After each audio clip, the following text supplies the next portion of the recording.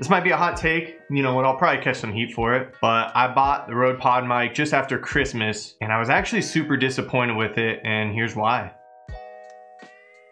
So I'm fascinated with tech and my goal on this channel is to help you make your videos or live streams look and sound more professional simply so if that's something you're interested in, please click subscribe and let's get into it. I'm gonna keep this one short and sweet today. What I wanna do in this video is show you why I bought it, why I returned it, and why I think other creators actually use it and have it sounding pretty good and where I kind of fell short, and also give you an alternative solution for the same price point, a $100 microphone, dynamic XLR microphone, which is the Shure SM58. It's consistent, reliable, it's fantastic. I would trust this thing with my life.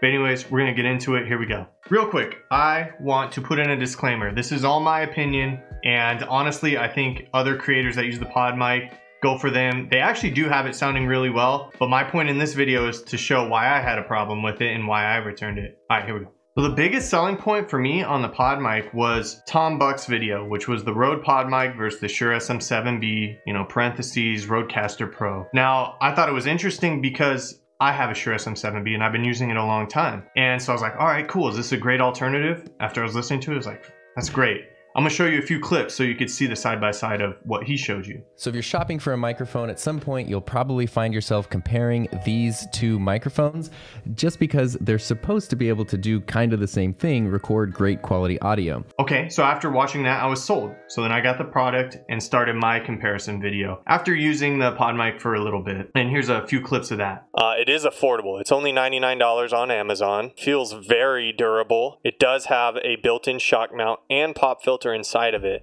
Okay, so now let's do some math here.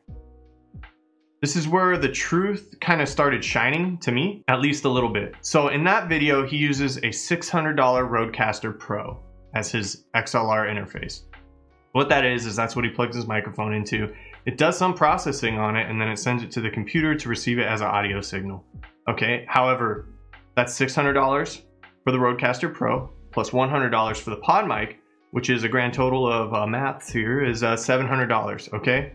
So I was doing a similar thing with the audio box, which is a $100 uh, interface, which only has gain input using my OBS filters, and then also the pod mic, so that's $200 there. I was like, wow, what a savings.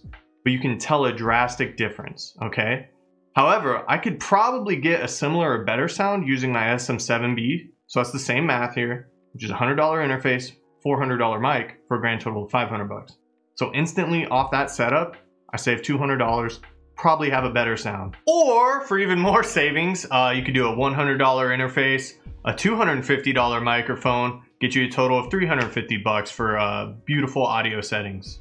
And after I used the pod mic for quite a bit, I started realizing and listening to other creators that it just sounds like crazy narrow. It sounds really focused, it's pretty harsh, and honestly, listening through it with like headphones, it just sounds like I'm listening to voices through a 1950s radio.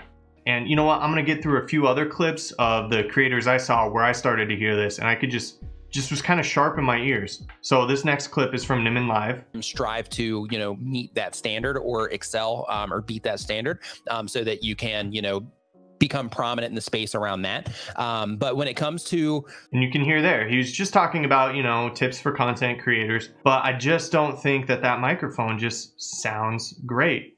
And you could see in his later videos, he switches back to the Shure SM7B, the $400 microphone every content creator does once you start getting you know traction on your channel you're going to have those people that do that sort of thing so here's what i recommend one thing i want to point out when watching these from other content creators is i want you to look at where they have the mic positioned in their mouth like it's to the side or in front of and some of them do use a pop filter to help with the plosives and the harsh P sounds. Another one is this is from a, a female content creator giving a review on this mic. And actually she sings its praises and she got it sounding pretty good and so did Nimin actually, but if you listen closer, it just doesn't sound full and it sounds tinny.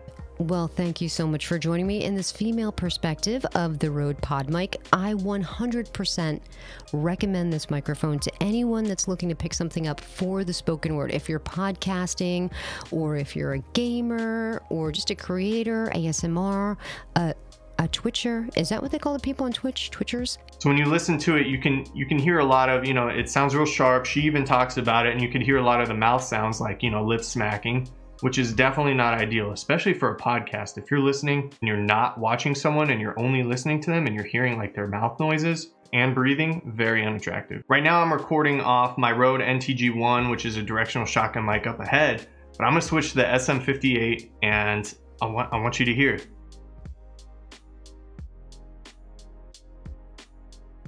All right, this is the SM58. This is like what every vocalist uses live anytime. And I would honestly recommend this for podcasts. I get it. Oh, it doesn't look cool on a mic stand. It looks like a normal microphone. And honestly, who effing cares how cool a microphone looks? All that matters is how it sounds. And this thing sounds beautiful. So I don't think anything can come close to having great rendered vocals through a microphone for a $100 microphone.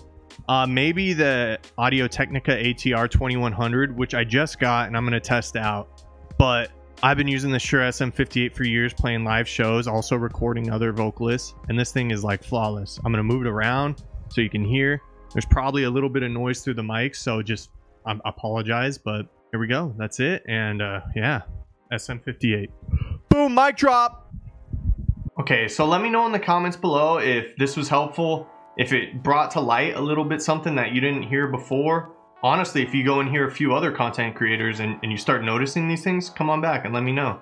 I'm curious. So uh, other than that, I appreciate you watching. If you do like the music playing in the backgrounds, it's from a Spotify uh, playlist that I've been building for copyright free music. It's called Stream Tunes Lo-Fi Beats. Go ahead and check that out. Other than that, thanks for watching. We'll see you on the next video and stream easy.